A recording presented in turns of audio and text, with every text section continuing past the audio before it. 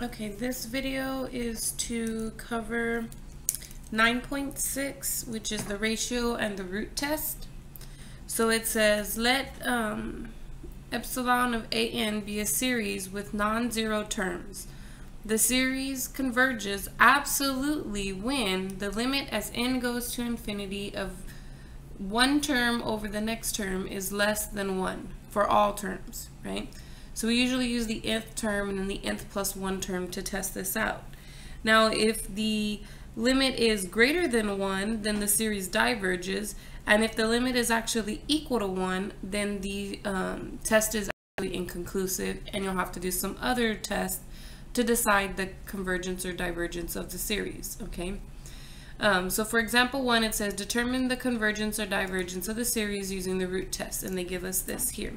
So again, the root test says that the limit as n goes to infinity of an in the denominator, meaning 2n over n factorial in the denominator, and an plus 1 in the numerator, which means this would be 2n plus 1 over n plus 1 being factorial. So we can rewrite that as a fraction and just have it as 2n times 2 to the 1 because that's what um, this exponent represents over n plus 1 factorial or actually I don't want to write it like that. I want to write it as n plus 1 times n factorial all the other terms after it times the reciprocal of our denominator so n factorial over 2 to the power n. Well then now you can see that the n factorials will cancel, the 2 to the power n's will cancel, and what we're left with is the limit as n goes to infinity of 2 over n plus 1. Now since n is 1, 2, 3, so on and so forth, this quantity will always be positive. So you don't necessarily need the absolute values anymore from here on out. And if you take this limit um, as n goes to infinity, what happens is, is that the entire fraction goes to zero. And this is less than one, which means that the series converges. So I'm just going to write that here. The series converges. And not only does it converge, but it converges absolutely. Right? Um, so example two is the same, is very similar. It says use the ratio test to determine the convergence or divergence of this particular series. So um, when we have that, let's see what we what we end up with. So we're going to go ahead and do the limit as n goes to infinity. And instead of writing it as a giant fraction like I did with this one, I'm going to jump straight into the multiplication of the reciprocal.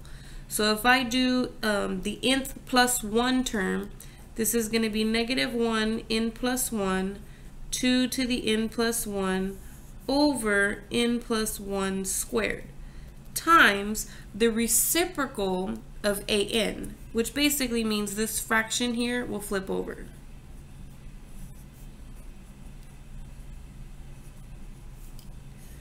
Okay, now when I'm simplifying this, we already know that when you have n plus 1, you can break it up into something like that, right? Well, essentially what happens is, is that this 2 to the n will cancel out that n power, which means all you have left is 2 to the 1.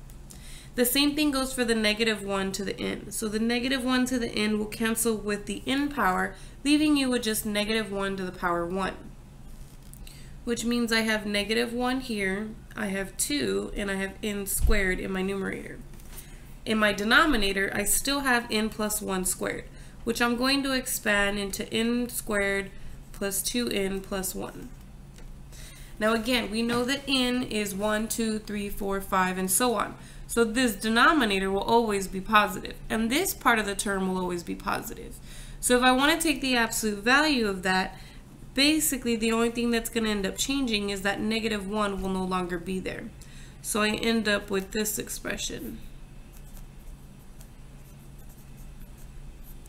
And you can use one of two ways. You can either use L'Hopital's rule here, or you can um, just divide everybody by the highest power of n in the denominator. Whichever way you choose to do this problem, um, I find it faster to just divide by the exponent, but everyone's different. So however you do this limit, make sure you're doing it correctly. So if I divide that by n squared, I get 2, I get 1, I get 2 over an n, and here I get 1 over n squared. So as n goes to infinity, these two terms will go to 0, leaving me with 2 over 1, which is just 2. Now this is greater than 1, which means that my series diverges.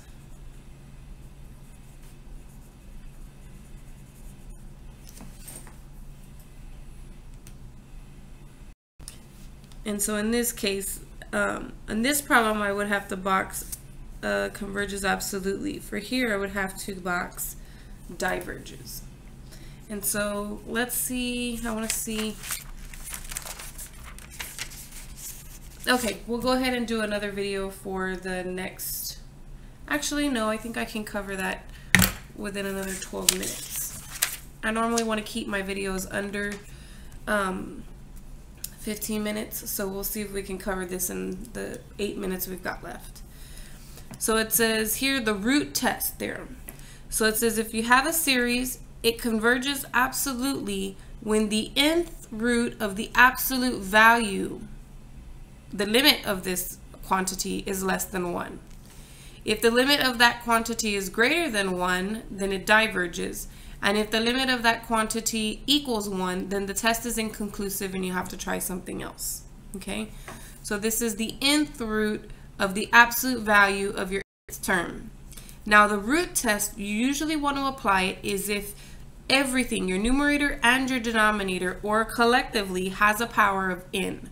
So you'll notice here, for example, 3, both of these have an exponent of n. Whereas here, we have it in parentheses, and you see that it has an exponent of n. So you just want to make sure that everything has an exponent of n that is shown to you, and then you would apply the root test. So for this particular problem, I would say the limit is n goes to infinity of the nth root of my nth term in absolute value bars. Well, we know n is always positive, so this quantity will always be positive. And if I take the nth root of something with the nth power, they end up canceling those nth powers away. So what you end up with is e squared over n.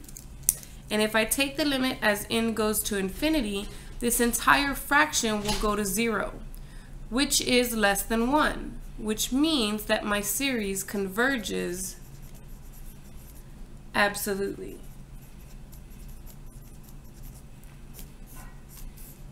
Now let's look at example 4. If we were to apply the root test here, we would get the nth root of the absolute value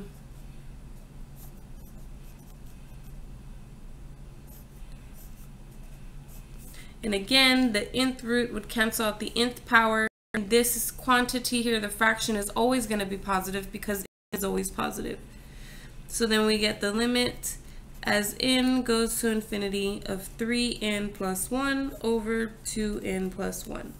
And again, whether you're using L'Hopital's rule or whether you're using the division by the highest exponent in the denominator, you should still get the same value for the limit here. So if I divide everybody by n, I get this expression and if I take that limit as n goes to infinity then I end up with just 3 over 2. This quantity is greater than 1 which means that my series actually diverges.